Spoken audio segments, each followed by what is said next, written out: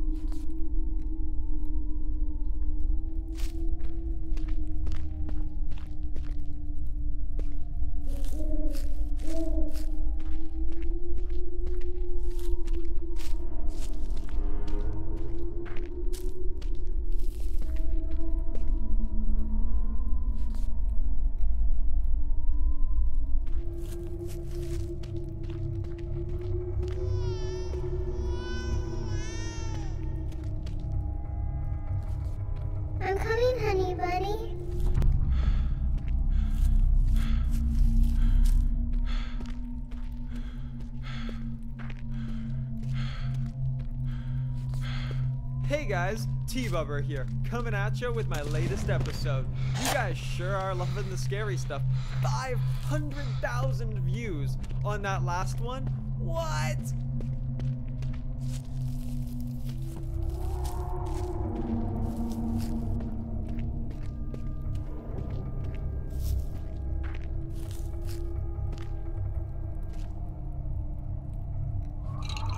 You heard him, hurt you.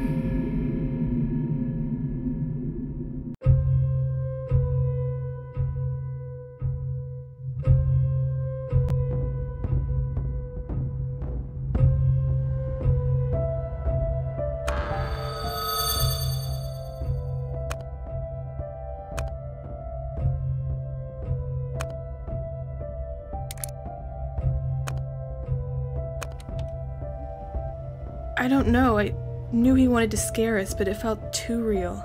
Like someone or something was watching us. I just didn't want anyone to get hurt. What's the big deal? It's just an old camp game. Uh, am I actually under arrest for something?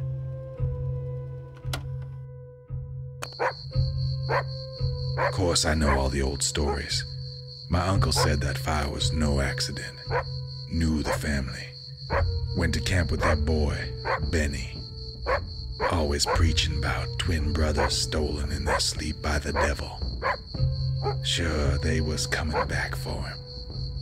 Touched by God, his mama always said. but what's that got to do with you waking me up at this godforsaken hour? Cause some little shit's busted up my fence again?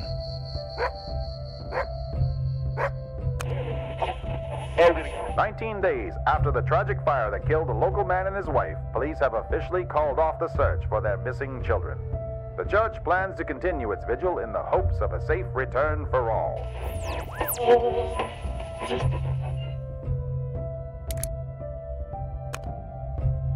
It's for when the bandages come off.